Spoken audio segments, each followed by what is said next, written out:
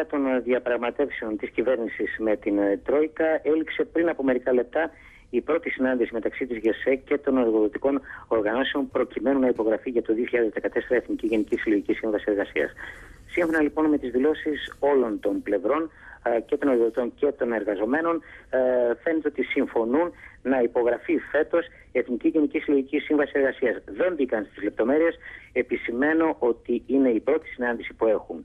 Ε, επίσης, και οι δύο πλευρές διαφωνούν κατηγορηματικά με την κατάργηση των τριετιών ε, το θέμα αυτό φαίνεται ότι ξαναβάζει η Τρόικα ε, στο τραπέζι προκειμένου από το 2016-2017 και μετά η Εθνική Γενική Συλλογική Σύμβαση Εργασίας να περιλαμβάνει μόνο έναν καθαρό μισθό χωρίς τριετίες. Τώρα η ΓΕΣΕ ζητά την επαναφορά ε, του κατώτατου μισθού στα 751 ευρώ καθώς επίσης και την κατάργηση όλων των νόμων του μνημονίου που έχουν επιφέρει σοβαρά πλήγματα στι ελεύθερες συλλογικές διαπραγματεύσεις.